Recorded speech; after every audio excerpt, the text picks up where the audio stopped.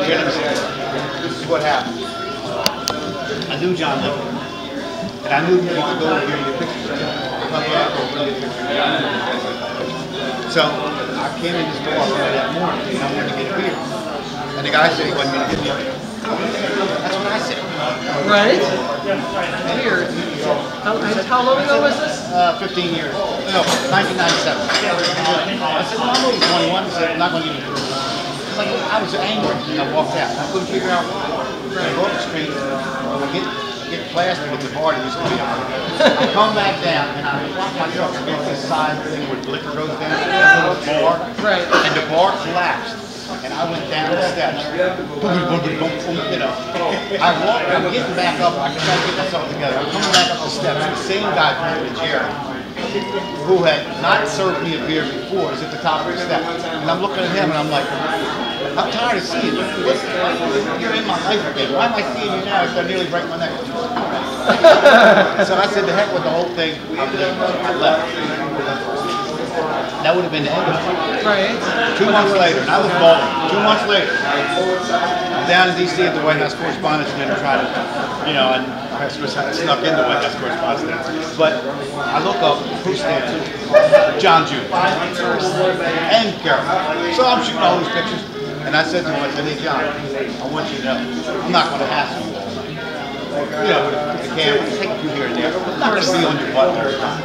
Right. I said, and then I said, as a matter of fact, I was just in New York. I was going to get some pictures of it. I told him I was at the Essence Chamber. I said, I'm going to get some pictures of it. Said, I wasn't at the Essence I said, oh no, I was I was up there. I was waiting outside the door, and, uh, and then uh, the thing broke. And I went down the steps, and, and then he looked at me.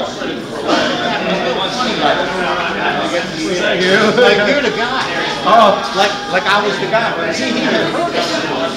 Except for when he heard the story, it was a lot of laughter.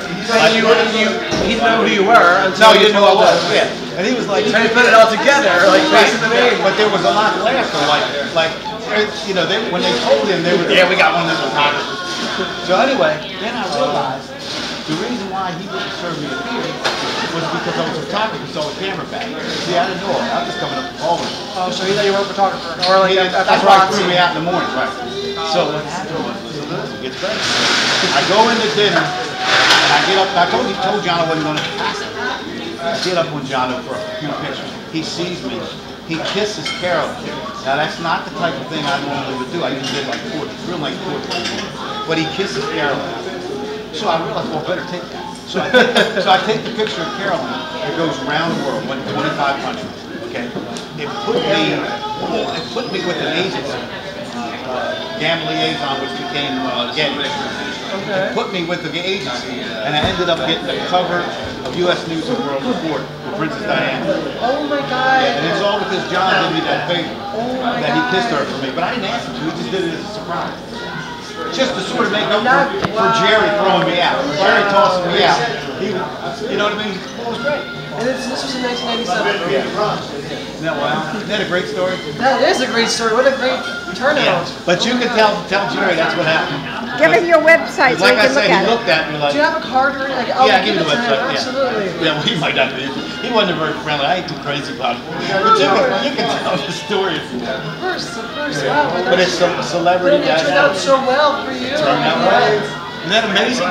That is. Wow. Yeah. If all that bad stuff, something good came out of it. Yeah, got me on the map and I went.